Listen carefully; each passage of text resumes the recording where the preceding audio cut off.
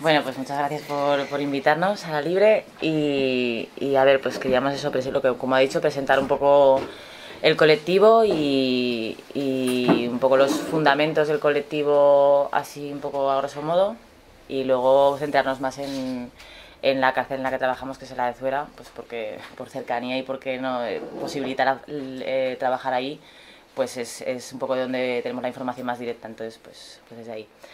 Entonces, pues bueno, Campa es el colectivo de apoyo a mujeres presas en Aragón y nace hace tres años en, la, en el contexto de la, de la Marcha Azuera, que es un poco lo mismo que la Marcha Villamona que va a haber mañana.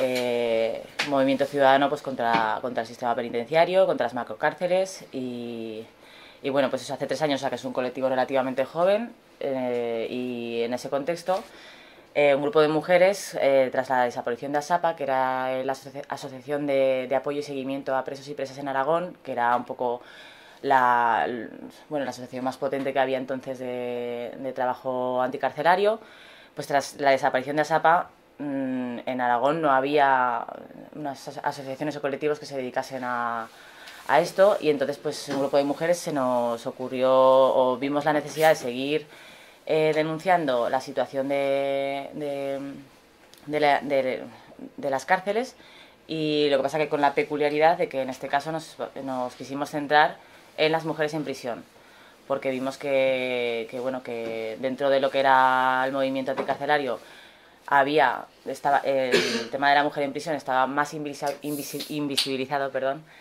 y, y bueno menos menos trabajado de alguna manera y entonces pensamos que, bueno, que era necesario, ¿no? Em, entonces, bueno, es un colectivo de, mujeres, no, o sea, no mixto, porque eso, pensamos que de alguna manera, como, como decía eh, Paz Francés en alguna de sus charlas, eh, somos las mujeres quienes nos, preocupamos y nos ocupamos de las mujeres al fin y al cabo. Entonces, eh, es así como quisimos, como quisimos nacer el colectivo.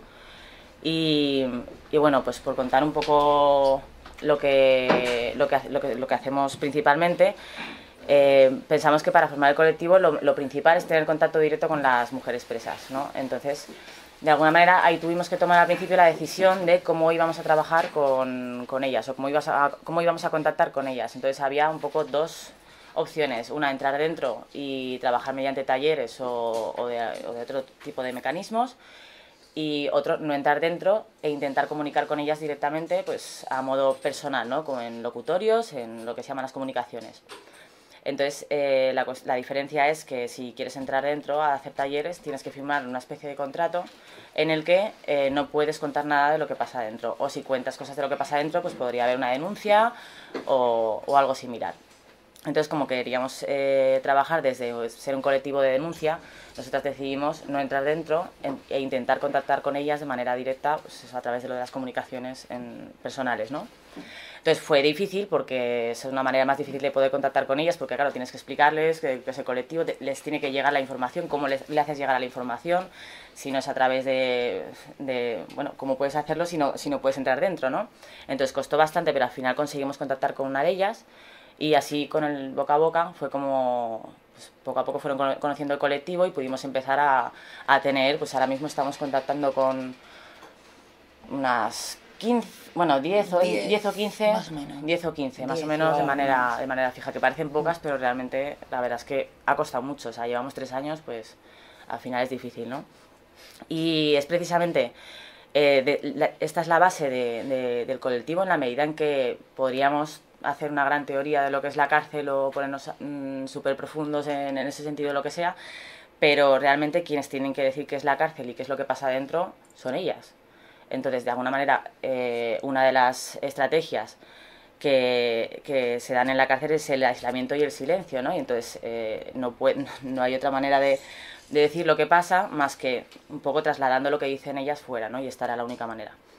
Entonces, es en esas pequeñas cosas desde cómo es el tamaño de la celda, a si hace frío o no hace frío, a cuánto tienen que esperar, esos pequeños detalles son los que conforman lo que es la cárcel y no al, margen de que luego puedas analizar, hacer análisis más desde, desde un modo más teórico, ¿no? Pero creemos que eso es lo fundamental. Entonces, sacar esas pequeñas cosas en torno a la salud, a la comida, al trabajo, eso es precisamente lo que nos, lo que nos da la realidad de lo que pasa dentro y lo que se desconoce, ¿no? Y ese es el trabajo que nos parecía importante, importante realizar. Entonces, en el tema de la peculiaridad, un poco de por qué, o sea, cuáles son un poco las diferencias así a grosso modo de, de, las cárceles de mujeres frente a la de los hombres, ¿no? O frente a la cárcel en general. Eh, así un poco en general podríamos decir que las cárceles están pensadas, son espacios pensados por hombres y para hombres y de hecho solo existen en todo el Estado español tres cárceles para, para mujeres, lo cual hace que unas, más o menos el 82% de las mujeres presas estén eh, en, en, cárceles mixtas.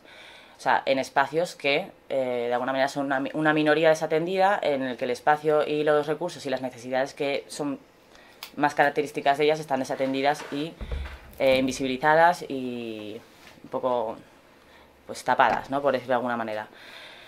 Entonces, eh, luego eso, luego Marina ya nos contará un poco en la cárcel de Zuera que tenemos el módulo de respeto, ya nos contará un poco más eh, cuáles son las especificidades de, este módulo.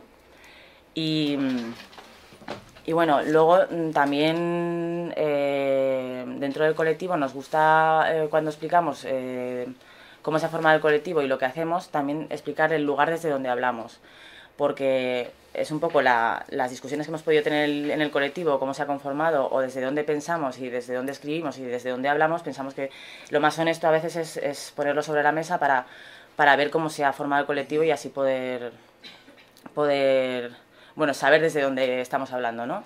Entonces, nosotras, a pesar de la diversidad que podemos ser en el colectivo, eh, tenemos como dos nexos que, con los que estamos, digamos, de acuerdo y los que nos unen en el colectivo, que serían el transfeminismo y el abolicionismo. Esos son los dos fundamentos y las bases que, manejamos ¿no? a la hora de pensar en, la prisión y en concreto en las mujeres presas. Entonces, eh, dentro de, de, estas dos eh, perspectivas, eh, sobre el transfeminismo, lo que quería un poco contaros es las cosas que, hemos pensado en las asambleas que tenemos y, que nos han llevado a debates y que todavía pues nos hacen un poco darle vueltas para, tratar el tema de, en prisión. Y mm, eso pues eso, el transfeminismo. Nosotros lo entendemos eh, por qué feminismo no transfeminismo un poco explicar estas cosas no si para analizar eh, lo que ocurre fuera de la cárcel por decirlo así en la sociedad así en general usamos perspectivas de género, de, raza, de clase, de sexualidad y tal, no hacerlo dentro de la cárcel, no tener esa perspectiva dentro de la cárcel sería eh, darle, darle la vuelta, o sea, darle la vuelta, no, la espalda a un tipo de análisis que nos va a decir cómo se está fundamentando la cárcel, ¿no? Entonces, en ese sentido, nosotras eh, pensamos la cárcel desde el transfeminismo porque es una herramienta concreta que tiene una forma eh, determinada de analizar eh, cómo el poder se eh, conforma en nuestros cuerpos. Y es una herramienta eso, que, analiza, que analiza concretamente esta, este mecanismo y es diferente a otras perspectivas. ¿no? Y entonces, en ese sentido, esta es importante porque nosotros tratamos el tema de la mujer en prisión y desde aquí podemos entender cómo, o sea, la diferencia que, hay en cómo se trata en el, género dentro de la prisión, que también es importante, igual que la raza, la clase, etcétera, ¿no? Como también pasaría afuera, pero, pero eso, pero en el espacio de la cárcel. Entonces, eh, si nosotros entendemos el transfeminismo como una lucha contra las discriminaciones, mmm, podemos, el transfeminismo sería, mmm, en vez de el feminismo, por ejemplo, se fijaría en, en, una opresión a una identidad en concreto y el transfeminismo lo que haría es coger una opresión y eh, todas las identidades que, que, estarían bajo esa opresión, que puede ser, o sea, no es lo mismo hablar de la opresión de, de una mujer a de una mujer negra, boyera, trans, eh, precaria. O sea, esto último analiza mmm, la opresión bajo distintas eh, identidades y, y, de alguna manera completa mucho más cómo se da esa discriminación y qué, me, qué mecanismos utiliza y se entrelazaría más, sería un poco más completa en la medida en que no se unifica solo en una y no explica solo una discriminación, sino que hay muchas cosas que confluyen, ¿no? Y entonces esa sería un poco la, la distinción. También eh, porque acogería mmm, críticas desde, de otros feminismos como el feminismo chicano o el feminismo negro, que, que lo que criticarían del feminismo en general es que se dice a sí mismo feminismo a secas sin identificarse con una raza, una cultura, eh, siendo que es un feminismo mmm, blanco, hetero, burgués, eh, y sí que se identifica con, con, esas cosas, lo que pasa que no, al no decirlo está intentando universalizarse y por tanto no explica otro tipo de opresiones que por ejemplo sí que, que son las que mm, explicarían desde el feminismo negro, chicano, que es distinto. Entonces, por eso no eh, hablamos de transfeminismo, ¿no? Un poco así en líneas generales.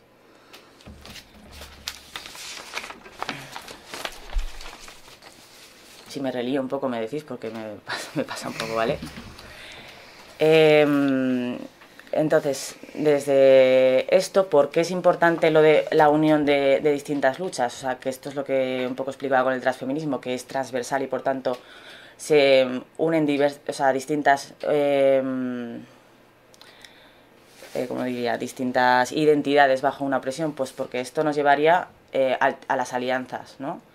Al cómo podemos eh, hacer una resistencia más común, una resistencia que al final excluiría menos, ¿no? Y, desde aquí se podría, o sea, al final se trata de que no, de que el empoderamiento no es una cuestión individual, sino que tiene que ser colectiva. Entonces, desde ese punto, tiene que intentar ser lo más colectiva posible, ¿no? Entonces, cómo pensar cómo podemos llegar hasta ahí. Entonces, nosotras, por ejemplo, a, a las mujeres presas, algunas veces les hemos dicho o hemos pensado cuando hemos hablado de cómo pueden, de cómo están en prisión, les hemos dicho que no están solas, no como una consigna así un poco no estáis solas, sino en el sentido de que creemos que solas no pueden enfrentar la cárcel igual que nosotras solas no podemos nada. Eh, hay mucho discurso en, en muchos ámbitos, incluso en la salud, etcétera, un discurso un poco neoliberal, calvinista de que somos ahí superheroínas o superheroínos, que, que podemos, superhéroes, perdón, que podemos con, con todo, que si cualquier, o sea, todas las cosas que nos pasan tenemos que luchar con, contra ellas y que parece que somos em, los responsables de lo, que, de lo que nos pasa y tenemos que, tirar para adelante, ¿no? por decirlo de alguna manera. Y, eso no es así porque nos hace responsables de algo que no es responsabilidad solo nuestra, que es un problema estructural, pero en cambio nos, eh, nos nos tira la pelota sobre nuestro tejado, ¿no? Y entonces no es así. Por eso pensamos que se trata de intentar colectivizar eh, este problema porque es de todas y de todos, ¿no? Entonces el problema de la cárcel también tiene que ser un problema de todas y todos porque de hecho lo es. Porque no es una cosa ajena que le pasa al otro o a la otra, sino que cualquiera somos susceptibles de ser personas presas. Y en ese sentido, para poder luchar contra eso tiene que ser algo común. Entonces, un poco por esto eh, viene lo del transfeminismo, ¿no? porque creemos que sí que es una vía para generar estas alianzas y poder entender la cárcel desde ahí y así poder también generar resistencias hacia eso. ¿no? Em, entonces, eh, podríamos decir que la cuando hablamos de abolicionismo o destrucción de la, del sistema penitenciario, de las cárceles, no, evidentemente no es algo solo físico ni material, sino que estamos hablando de la destrucción de un modelo de vida, una forma de vida. Y que tiene que ver con esto, ¿no? con, con, con, las opresiones que, esto genera. Entonces, la segunda premisa que hablábamos en nuestro colectivo, que sería el abolicionismo, pues mm, lo que hemos alguna vez pensado así al principio del colectivo y que hemos hablado en algunas asambleas, eh, por ejemplo, qué idea teníamos nosotras de la, de la cárcel, antes un poco de forma de colectivo, claro, cada una viene de distintos sitios, ¿no? Pero bueno, en general podemos pensar que si no estás metido en, o metida en, esto, o conoces un poco el tema por lo que sea, hay una especie de visión bastante peliculera de lo que es la cárcel, ¿no? Hay una especie de imaginario o de construcción eh, simbólica de, de la cárcel bastante mediatizada, pero en el sentido de eso, de peliculera, de literaria, etcétera. Realmente no hay eh, mucha información directa, no es, no es una información pública, no es una información que tengamos eh, a mano y obviamente esto no es casual. Entonces, esto sirve para generar todo un imaginario de lo que es la cárcel que sirve a cierto tipo de ideología y que, y que funciona, de hecho, muy fuertemente en, en cómo pensamos o, qué pensamos, o lo que pensamos que es la cárcel. Entonces, eh, es, es, bastante increíble que sea algo que, de alguna manera, el hecho de, no entrar en la cárcel o lo que significa la cárcel es algo que nos acompaña en todo nuestro proceso vital y, sin embargo, realmente es algo bastante ajeno. Siempre pensamos, bueno, no en este espacio quizá, pero pensamos que eso es algo que le pasa a los demás. ¿no? O que, o que realmente, lo que te digo, peliculero, ¿no? Entonces, em, en ese sentido, mm, esto genera el hecho de, que no haya información o de que se nos presente como algo bastante ajeno, mm, hace que no tengamos un conocimiento real de cómo estamos funcionando o de cómo o que realmente qué supone el sistema penitenciario en la conformación de, de la vida en general, ¿no? Entonces, esto, a ver, por resumirlo así mucho, tiene mucho que ver con una especie de binarismo cristiano entre el bien y el mal, ¿no? En lo que se trataría de eh, una cultura en la, del castigo, en la que se eh, premia el bien y se castiga el mal. Eh, ¿cuál es, qué, es la importancia de esto? ¿Quién representa el mal? ¿Cómo se representa el mal? Y quién dice lo que es el mal, ¿no? Una vez que nos preguntamos esto, estamos llegando al punto de, al punto importante de pensar cómo se está conformando esta diferencia entre buenos y malos o entre delincuentes y no delincuentes, ¿no? por decirlo así. Em, el hecho de que de que, o sea, precisamente en la cultura del castigo sabemos que las personas que representarían el mal o, o, bueno, el imaginario que se ha hecho en torno a eso son los excluidos, ¿no? Serían pues el otro, la otra, el hereje, la prostituta, la boyera, eh, todos esos otros marginados y excluidos en pos de ese uno que sería un poco el, el, pues el hombre blanco, hetero, burgués, ¿no? Que sería el, bueno, el, el bien, ¿no? Por decirlo de alguna manera, dentro de esa distinción. Entonces, eh, bueno, indagando un poco en eso, se puede romper y desbaratar toda esta, toda esta, toda esta creación de discurso y eh, obviamente ver que es un discurso subjetivo, tendencioso, sesgado y que sirve a una ideología en concreta para generar, eh, pues para generar este sistema, ¿no? Entonces, el hecho, el hecho, o sea, sí, el hecho de que las cárceles mm, estén llenas y no vacías es algo paradójico dentro del, argumento que pretenden generar, que pretende generar el sistema, el sistema penal, en el que se supone que el sistema penal y la ley están para frenar la delincuencia y, por tanto, el objetivo final sería que las cárceles estuviesen vacías. Sin embargo, si estuviesen vacías serían innecesarias, entonces es totalmente lo contrario, hay que mantenerlas llenas para justificar que la cárcel es necesaria. Entonces, esto lo que nos viene a decir básicamente es que no es mm, el delito el que crea la cárcel, sino es la cárcel la que crea el delito, para poder mantenerlas llenas. Y ni siquiera mm, se penalizan los delitos, sino que se penaliza a cierto tipo de personas. Eh, por ejemplo, en el caso de las mujeres en prisión, la mayoría están por delitos a la salud pública, que es tema de drogas y tal. Y claro, el tema de cómo se condena esto frente a otras, otros delitos, por ejemplo, el de, la, el, de, mm, el de las mulas, ¿no? Sería una pena de 7 a 10 años, que es bastante, bastante heavy, en comparación con, por ejemplo, estafar Hacienda, que hay casos de, de dos años o menos, ¿no? Entonces, ahí que se está penalizando a la persona precaria, sin recursos, que eh, seguramente comete ese delito, pues por más por necesidad que otra cosa. Por ejemplo, ¿no? Puede haber muchos motivos, pero bueno, que está, está claro eh, a quién se está penalizando, no es el delito en sí, no es el traer droga tal, es cierto tipo de población que interesa tener mm, pues excluida, marginada, etcétera, ¿no? Mm, entonces, en ese sentido, las sociedades pueden soportar tantas prisiones y tanta población presa como su cultura y su sistema de su sistema político permitan, ni más ni menos. O sea, por tanto, no es nada necesario, igual que hemos podido pensar la sociedad sin pena de muerte, se puede pensar la sociedad sin cárceles perfectamente, o sea, no es una utopía, para nada, no creo que estemos en ese punto ni mucho menos, solo que no, obviamente pues no interesa. Y, y en ese sentido, mmm,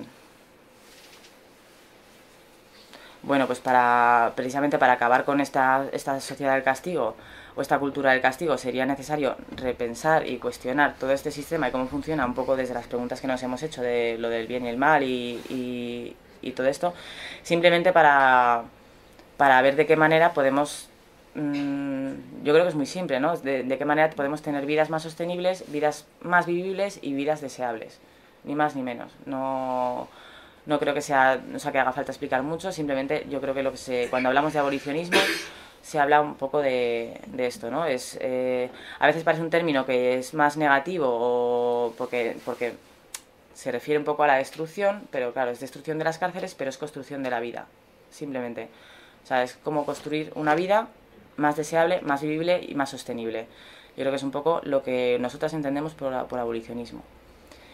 Y yo creo que tampoco diría mucho más. Eh, pues eso, Marina, bueno, luego hablaremos de más cosas y ya un poco por dejaros la palabra y preguntar.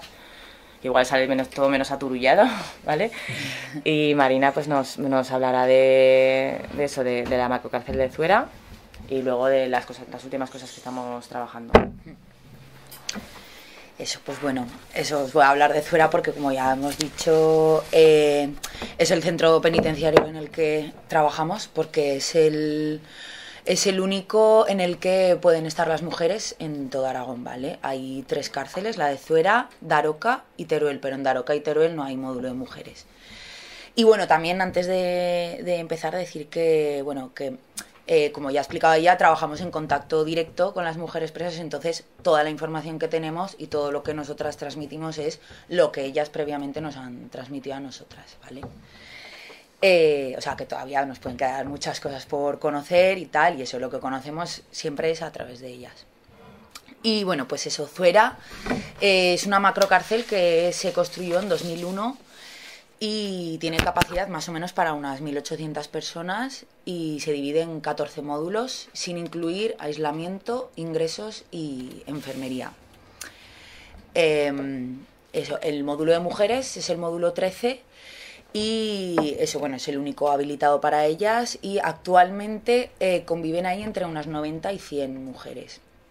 ¿Vale? Al ser el único módulo de todo Aragón, pues eh, todas las, las, mujeres presas eh, están ahí juntas, ya sea de por preventivas, eh, condenas cortas, condenas largas, em, drogodependientes, eh, bueno, de, de todo, algunas por acumulación de delitos, no haber podido pagar multas, tal, en fin, todas, o sea, no hay distinción ni, ni separación. Eh, bueno, eh, como ha dicho Salli de antes, eh, acerca de los tipos de, de, delitos, bueno, nosotras cuando empezamos a tener, cuando creamos contacto con alguna de ellas, eh, nunca, nunca preguntamos por qué están dentro, o sea, es algo privado, que ellas, si les apetece contarlo, eh, lo cuentan, pero es algo que a nosotras, o sea, que no nos importa porque estén ahí, o sea, que no hacemos distinción en en el delito que han cometido para tener contacto con ellas, o sea, todas por igual. Eh, pero bueno, es verdad que la, que la mayoría son por delitos contra la salud pública, por drogas, o delitos contra la propiedad, eh, eso, hurtos, acumulación de condenas y tal. La mayoría sí que son por, por drogas.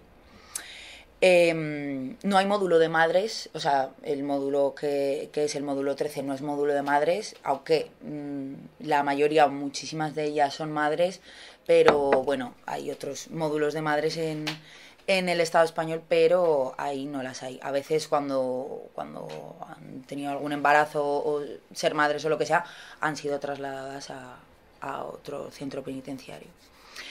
Eh, bueno, también en el módulo, en el módulo 13, eh, aislamiento, como he dicho antes, es otro módulo, pero es otro módulo aislamiento de hombres.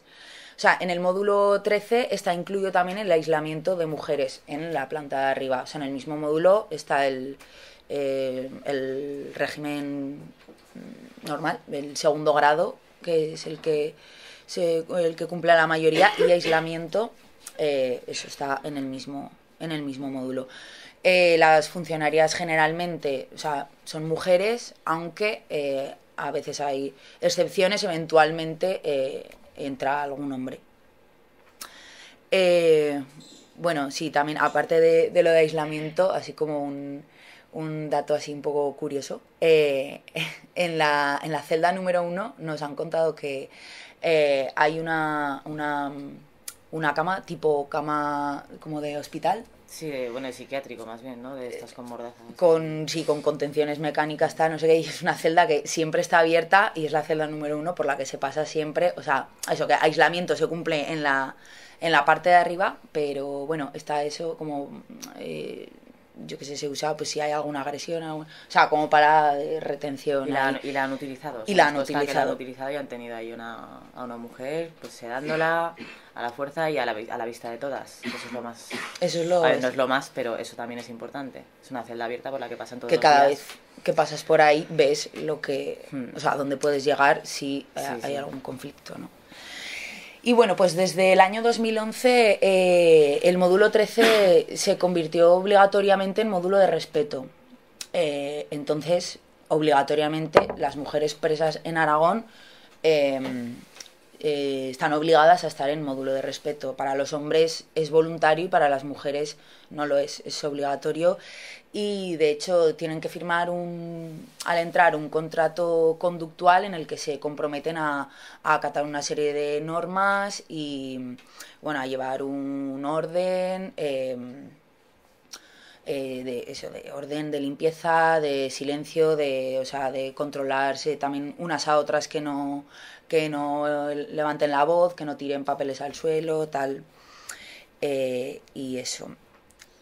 Em, bueno, este es un régimen especial de funcionamiento que eh, funciona mediante un sistema de evaluaciones, o sea, eh, se, se, se toman algunas como encargadas, o sea, algunas las hacen encargadas o responsables de, de algunas actividades, de algunas tareas, y, y, mm, existe un sistema de puntos en el que hay, o sea, los, las funcionarias te dan tanto puntos positivos cuando cumples cosas tal como negativos que son más frecuentes Y ellas, y entre ellas, que es lo y, sumo. y claro las encargadas lo que decía las encargadas estas responsables están eso precisamente son las encargadas de mm, de, de chivarse así de chivarse a los funcionarios de quién ha provocado tal, eh, no ha limpiado el pasillo cual, tal, no sé qué, o sea, que existe un ambiente ahí, o sea, aparte de que, de que simplemente por el hecho de que estén eh, todas juntas y tal, eh, el módulo de respeto en sí eh, crea, ya, eh, crea ya una competitividad y una conflictividad, o sea, mm, o sea es muy difícil que entre, que entre 100 mujeres eh, conseguir que se lleven bien. O sea, es muy difícil y más cuando, cuando está cuando está así configurado el sistema para que para precisamente crear conflictos, desigualdades y tal. Entonces, eso y utilizan eso algunas encargadas para mm, para informar a, funcionarias de, los comportamientos buenos, malos de otras. Eh, bueno, eh, estos puntos eh, vas adquiriendo puntos negativos y los puedes después canjear por vis a vis o por hojas meritorias que te sirven para cancelar partes. Eh, bueno, entre otras obligaciones eh, del módulo de respeto eh, están los recuentos, bueno, que hacen recuentos a las 8 de la mañana, a las 2, a las 5, a las 8 de la tarde y el último a las 9, 9 y media en los que tienes que estar de pie en la puerta de la celda, la celda abierta, la cama hecha, bien vestida, o sea, vestida bien, la celda limpia, tal, no, que no haya nada por el suelo, tal, y eso. Eh, eso es una de las como obligaciones del módulo de respeto. Luego también ah, van asignando, o sea, cada una tiene ahí una función, una tarea eh, que normalmente suelen ser o de limpieza, o sea, pues por ejemplo, una eh, limpia un pasillo con la mopa todos los días, hay como una luego hay sí, luego cuento también comisiones de limpieza, bueno, pues o limpieza de baños, tal, o sea, de zonas comunes o de cocina, tal, o sea, cada una tiene como supuesto que todos los días tiene que tiene que, cumplir. Eh, bueno, también eh, decir que eh, se chapan las celdas de 2 a 5 de la tarde y de 8 de la tarde a 8 de la mañana. O sea, 15 horas al día están encerradas en, la, en, su, en su cuarto. Eh, bueno, luego en cuanto a la organización del módulo, eh, que poco a poco vamos conociendo más cosas, eh, Bueno, eso como he dicho antes, la limpieza es obligatoria cada una tiene como su función, su trocico que mantener limpio y tal. Y las comisiones eh, se dividen en la comisión gestora, que la integran todas las encargadas de, de los destinos, que se les llaman. Los destinos son eh, tareas para la propia administración penitenciaria que son, por ejemplo, economato, eh, limpieza, cocina, mm, panadería, eh, entre otras. Eh, entonces, hay algunas, son las encargadas de cada, de, cada destino de estos, que luego hay otras que, que, son las que más hacen el, trabajo. Entonces, estas encargadas se reúnen con las funcionarias todas las semanas en plan de sugerencias y necesidades y tal. Eh, luego, la comisión cívica eh, son las encargadas de, regular las filas. Hay que hacer filas eh, tanto para la mm, entrada y salida a las celdas, entrada y salida al comedor, em, fila para el economato, fila mm, a la hora de, servir comidas y tal. Y eso, pues hay unas encargadas de mantener el orden, que lo hagan en silencio y tal.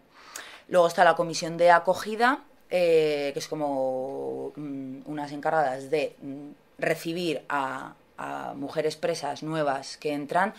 Eh, bueno, puede ser que entren por primera vez o que sean reincidentes, eh, pues se encargan como del acompañamiento, de enseñar las instalaciones, de explicarle pues, horarios, llevarle a su celda, presentarle a su compañera si la tiene, etcétera. Luego una comisión de deportes que gestiona eh, la apertura del gimnasio y pequeños torneos que se hagan de baloncesto, fútbol, tal. Y aquí un dato curioso que, nos contaron hace poco. Eh, se celebró eh, un, un torneo de badminton organizaron en el que el premio para la ganadora eran 50 euros.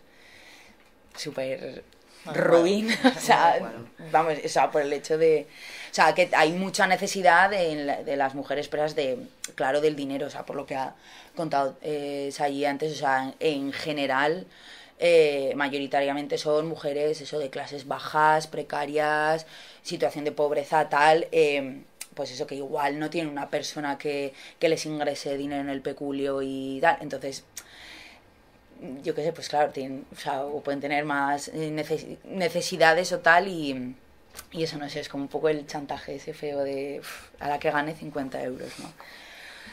Y bueno, y por último la comisión de limpieza, que eso hay varias encargadas de zonas de limpieza, escaleras, plantas, baños, eh, patio eh, y tal. Peluquería, escuela y gimnasio, ¿vale? Y eso, bueno, em, entonces el, funcionamiento como tal del módulo de respeto, lo que nos eh, transmiten ellas es que, o sea, la, la, la, vida, el ambiente que genera, que genera en sí, o sea, ellas nos dicen, o sea, que es que se respira tensión todo el día.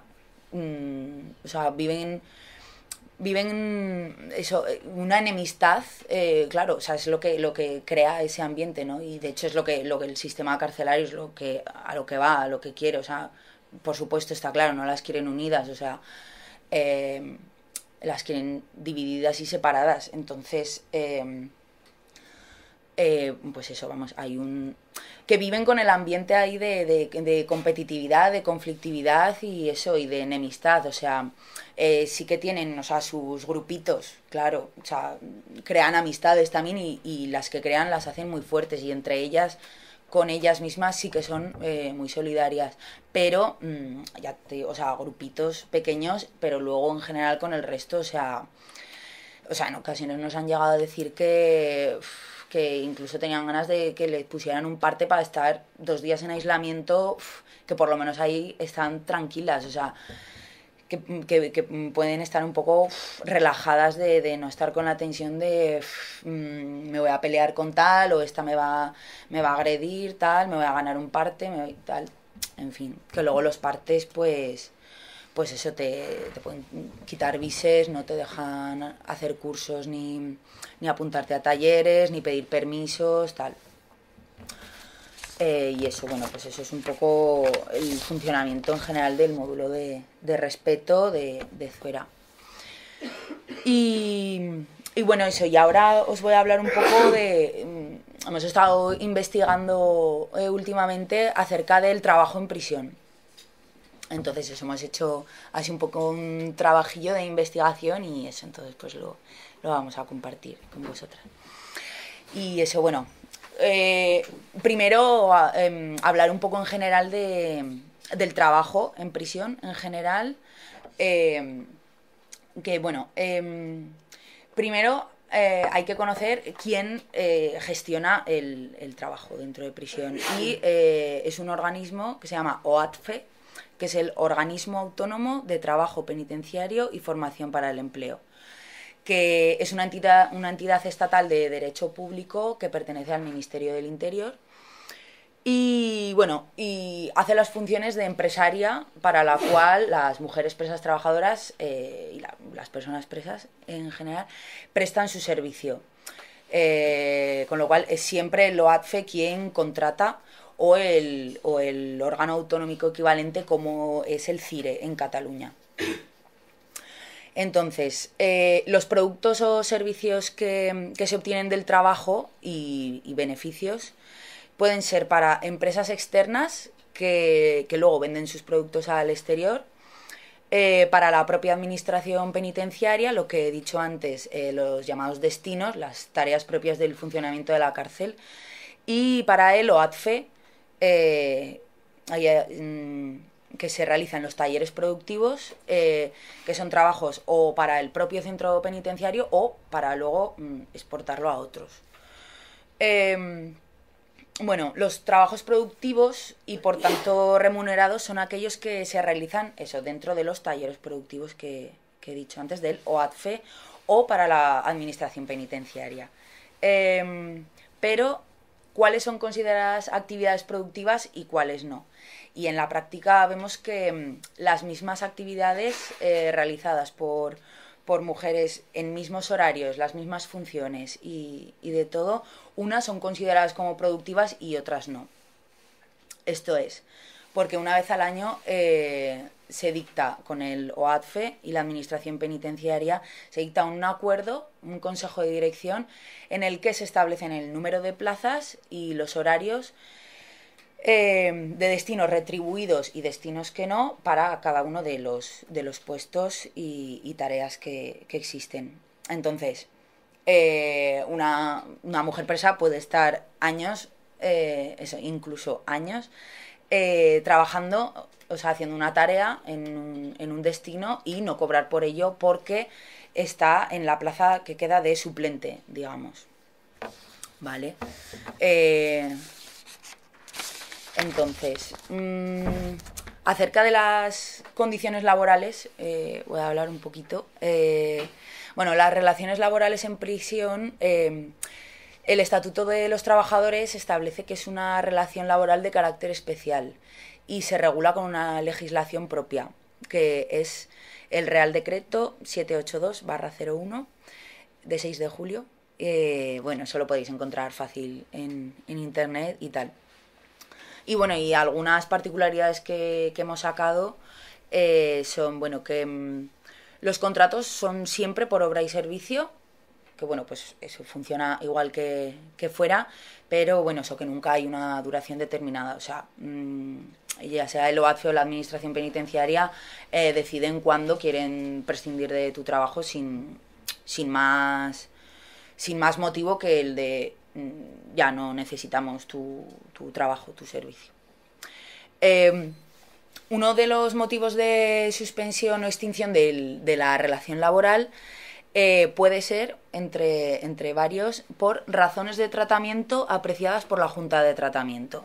Esto es, la Junta de Tratamiento está formada por director o directora, subdirector, subdirectora, pedagoga, mm, eh, psicóloga, educadora, etc. Entonces, o sea, que, que claro, que, la junta de tratamiento decida si tú sigues o, o sea, es un motivo como demasiado ambiguo en el que obviamente depende tu relación personal con la, con la junta de tratamiento. O sea, que puede ser que existan motivos objetivos que tal, pero mm, al fin y al cabo no deja de ser totalmente subjetivo. Y bueno, en la práctica, en la práctica vemos que, es así.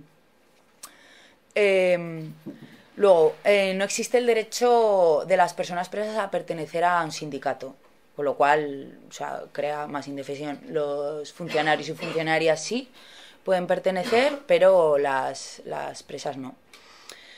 Eh, y bueno, eh, ah, aquí tengo mm, una nómina y unos informes de fabricación de una mujer presa de Zuera que, nos, lo, nos lo sacó y eso para que lo veáis un poco, ¿vale? Em, eso, por ejemplo, bueno, os lo cuento ya.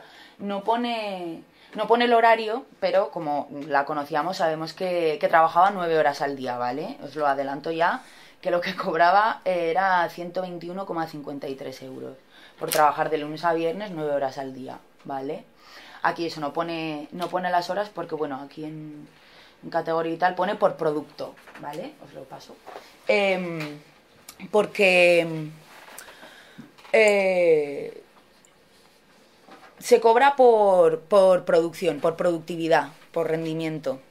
Entonces, eh, luego, bueno, ahí están los informes de, fabricación que, mm, digamos, cada, cada movimiento que tiene tu trabajo, em, esto de los talleres productivos, perdona, estoy hablando. Eh, cada movimiento, digamos, tiene su código, su, descripción de la acción, como puede ser doblar, por ejemplo, en un taller de confección, doblar, mm, lo que sea, una funda de almohada, eso lleva su código, su descripción y el tiempo estimado que el OATFE ha, el ha estimado, establecido el tiempo que tardas en doblar, que, será, que son dos segundos. En horas 0,0 tal, bueno, ahí viene, ya lo veréis. Y eso, entonces ahí es donde se hace el cálculo de las, del tiempo efectivamente trabajado, que es el que establece, que establece este organismo. O sea, aunque tú tengas tu horario que estés nueve horas, eh, pues eso, el efectivamente trabajado es el que tú has invertido en hacer los movimientos y, tal. Eh, entonces, en, las nóminas em, se incluye la parte proporcional a vacaciones, gratificaciones extraordinarias, descansos semanales, en fin, o sea, viene todo prorrateado. Todo lo prorrateable que pueda haber, pues va todo ahí incluido.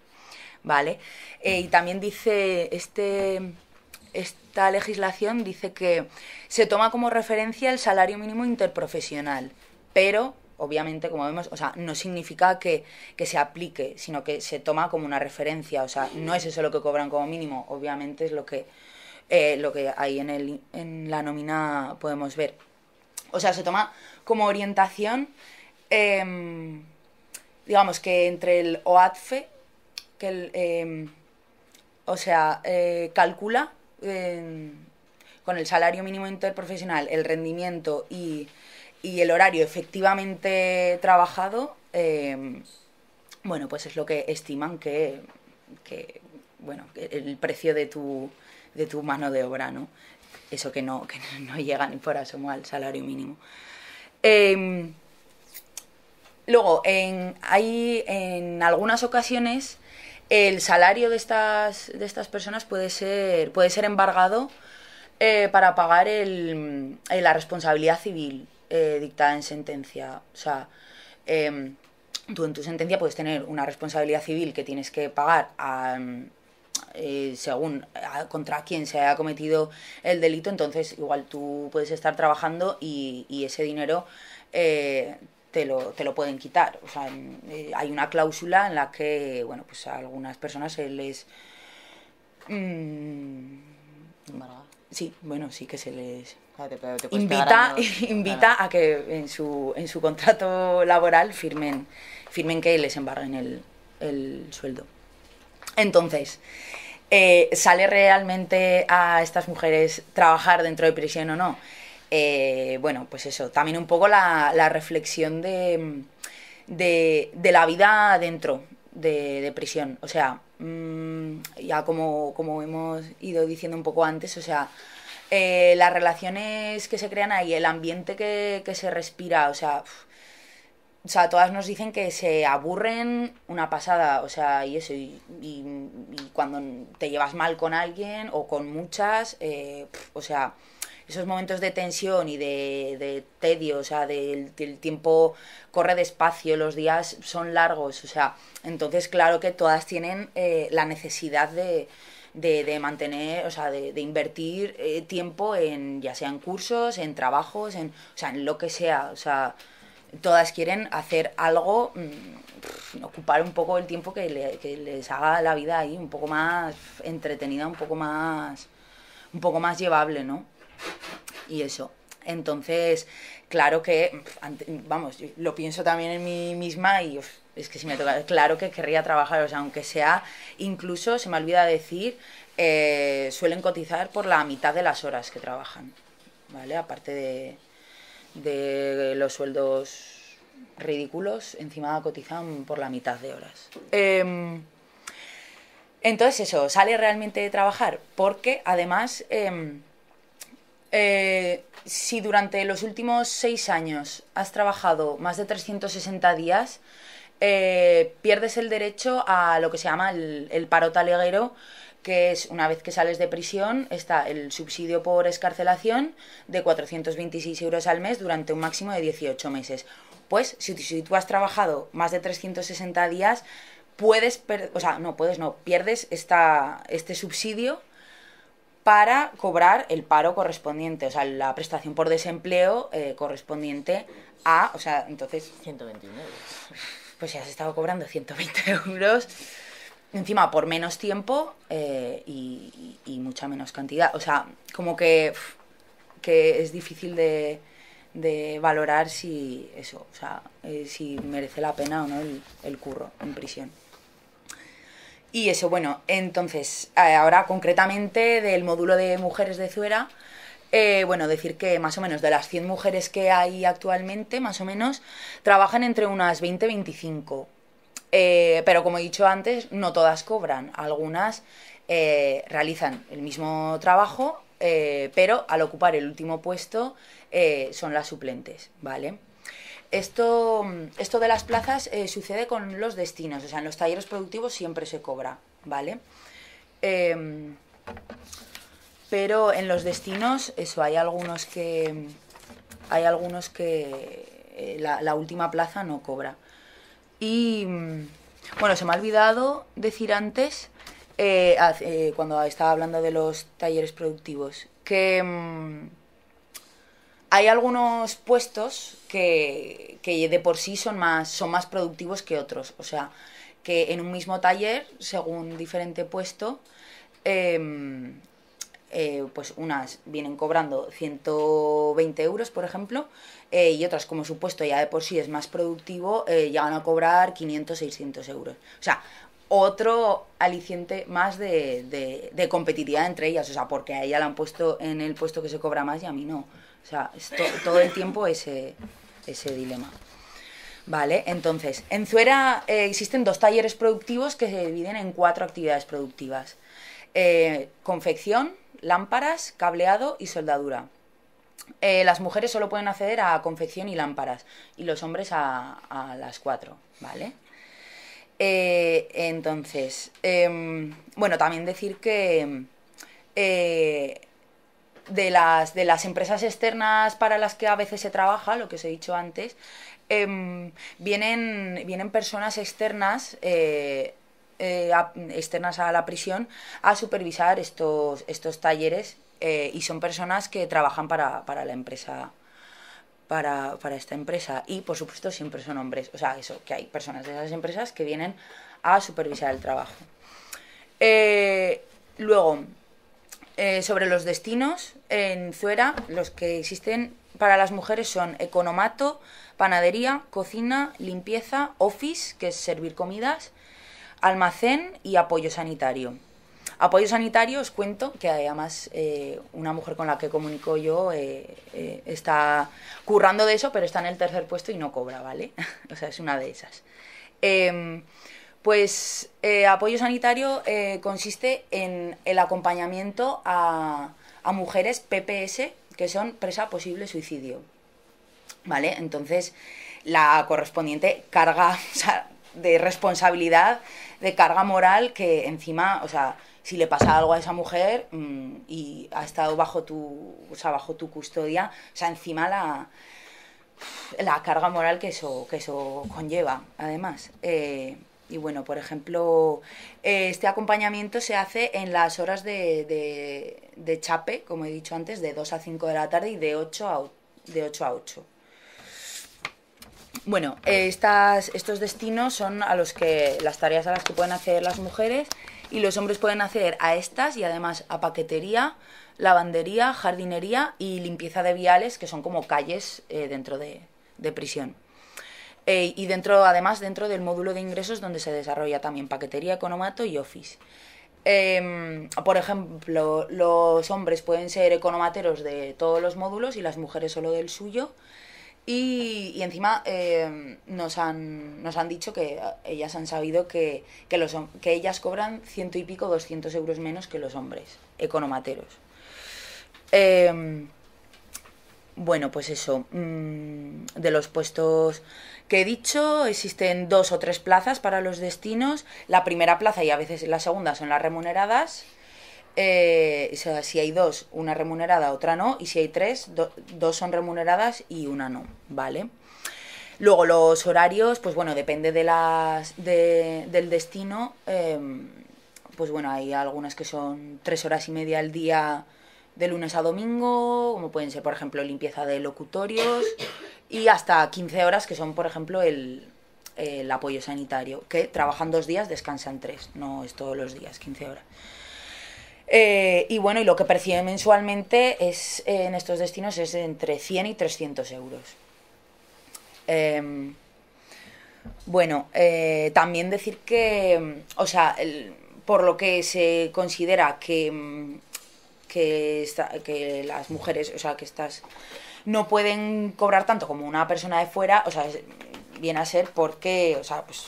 Mm, como que se dice que, tienen sus necesidades básicas cubiertas, ¿no? Pues no tienen que pagar un alquiler, mm, les dan comida, tal y cual, ¿vale? O sea, como que los servicios mínimos los tienen cubiertos, pero bueno, o sea, luego en la práctica eh, lo que nos cuentan ellas, o sea que, mm, vamos, ellas mismas, eh, no, no una solo, o sea, un montón, mm, se sienten no tratadas como personas, o sea, y esto es una, una, frase a la que a la que recurren muchas de ellas. O sea es que aquí no somos personas. O sea mmm, por ejemplo eh, llevan dos inviernos que sepamos dos inviernos sin calefacción en el módulo eh, ya no solamente es que no haya calefacción en el módulo, sino que encima de las rendijas por donde tendría que salir el, el aire caliente, a veces sale aire frío. O sea, eh, para calentarse se tienen que se tienen que tienen que calentar botellas de agua y alguna vez han bajado a comunicar con nosotras con botellas de agua caliente para calentarse las manos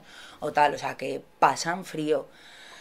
Eh, luego, bueno, aparte de la calidad de, de los servicios, como por ejemplo el agua, em, eh, testimonios de muchas, o sea, nos han dicho que el agua, o sea, que a veces no, no la pueden ni tragar de lo que sabe a cloro eh, y que y del agua de las duchas, o sea, que a, muchas les han salido como manchas, ronchos blancos en la piel de, del agua.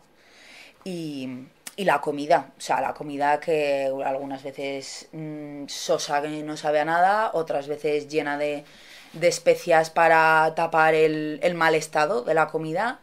Eh, algunas, vamos, este año nos dijeron que unas había encontrado una astilla de madera en el arroz, otra un, un gusano en un muslo de pollo, o sea, deprimente, deprimente. Entonces algunas, o sea, por eso que sus necesidades básicas están cubiertas, pues claro, algunas, las que, las que pueden y tienen algo de dinero, les ingresan algo de dinero, eh, suelen comer la mayoría del economato, o sea, porque es que la comida que reciben de ahí es, o sea, asquerosa, incomible. Y los precios no son exactamente baratos en el economato, o sea, tampoco es que... sí, tanto en el economato como en el demandadero, o eso, bueno, no, no todos, igual más en el demandadero creo una que lista era... de precios y tal, y estuvimos comparando con los precios de mercado hmm. y no eran exactamente baratos, o sea, que también es la cuestión, ¿no? Encima no te ponen comida, no te ponen lo mínimo y eh, lo que te venden encima es más caro, hmm.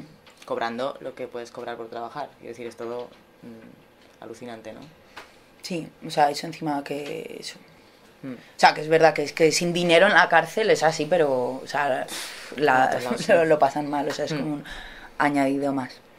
Y eso, bueno, y a veces, o sea, con, con estos con estos salarios incluso tan bajos algunas mujeres o sea eso como pertenecen a clases bajas y tal eh, muchas encima lo que hacen con su salario es sacarlo afuera para mantener para seguir manteniendo a sus familias fuera eh, y tal. Bueno, y con respecto eso a lo a, talleres productivos y tal, bueno, también nos, nos han contado ellas que eh, específicamente los hombres de estas empresas que vienen a supervisar el trabajo, eh, en alguna ocasión se han producido agresiones sexuales y violaciones.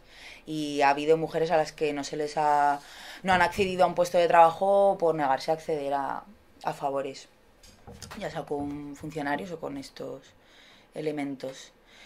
Eh, y eso, bueno, mm, bueno, así un poco... O sea, que eh, en la práctica se, se, se demuestra claramente como los trabajos y las tareas, sobre todo, y en este módulo de respeto más, eh, a las que tienen acceso las tareas, estas mujeres las mujeres en Zuera no hacen sino reforzar el papel tradicional de, de la mujer eh, en la sociedad y los roles de género supuestamente asignados para, para estas. Sí, se supone que los módulos de respeto se crean un poco para ocupar ese tiempo vacío en el que eh, las personas presas no, o sea, pues ya está, para que no tuviesen, no se aburriesen, no, no, no tuviesen tedio, entonces se les daba unas tareas y unas posibilidades de trabajo, digamos, para eh, bueno, pues para formarse, para trabajar, para hacer un poco la vida más así, ¿no? Y entonces, claro, cuando te pones a analizar el módulo de respeto en base a, cómo son estas tareas y estos trabajos, pues te encuentras con todo esto. Entonces, como un mecanismo bastante perverso. Mm, y nada, bueno, yo creo que, que ya está. Y bueno, eso sí que por por último, antes de pasar a eso, a debate, si queréis preguntar alguna cosa, eso, que hagamos algún debate o tal, em, eh, os queríamos poner un vídeo de, de, una, de una campaña que nos ha llegado. Eh, eso, bueno, en la que se. O sea, es un vídeo de una acción y, y eso, bueno, de una campaña que se llama Esclavas en Prisión. Eso acerca eso del trabajo casi esclavo que, que precisamente en uno de los talleres mm, lo que producían las presas eran las etiquetas de las cosas, etiquetas de almohadones, pues las etiquetas que podamos llevar en la ropa, para empresas como el Corte Inglés, Zarajón, o sea, quiero decir... Las etiquetas y donde viene el precio, tal. Y, y entonces, bueno, pues eh, la acción va un poco en torno a eso. Es,